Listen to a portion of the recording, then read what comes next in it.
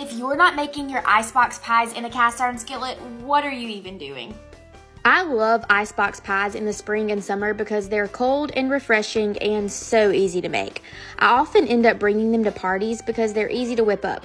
One of my secrets is making them in a cast iron skillet because the skillet helps retain the chill longer than a traditional pie plate. Make a saltine cracker crust like you would a graham cracker crust. Then whisk together lemon and lime juice with sugar and egg yolks. Bake until set and topped with whipped cream.